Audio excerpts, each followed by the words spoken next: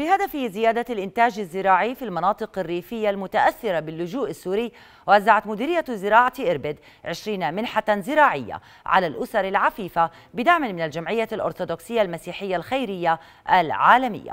هذه المنحة تأتي لغاية التسويق الزراعي للمستفيدين من مشروع دعم الأردنيين واللاجئين السوريين عن طريق زيادة الإنتاج الزراعي وتحسين إدارة الموارد الطبيعية. مدير زراعة محافظة إربد الدكتور عبد الوالي الطاهات أكد أن هذا المشروع الذي تنفذه وزارة الزراعة بالتعاون مع الجمعية الأرثوذكسية المسيحية الخيرية العالمية جاء بهدف مساعدة الأسر الريفية على إقامة مشاريع صغيرة للإنتاج الحيواني وتأمين مصدر ثابت للدخل. وزارة الزراعة معنية جدا في المرأة وتمكينها بحيث من انتشالها من الفقر وتمكينها بحيث تكون قادرة على إيجاد دخل آه، للأسرة وزيادة المردود الاقتصادي لها.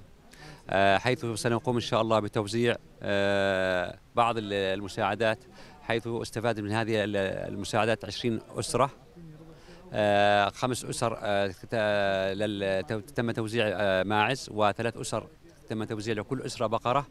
و15 أسرة لكل أسرة 18 دجاجة بالإضافة إلى العلف.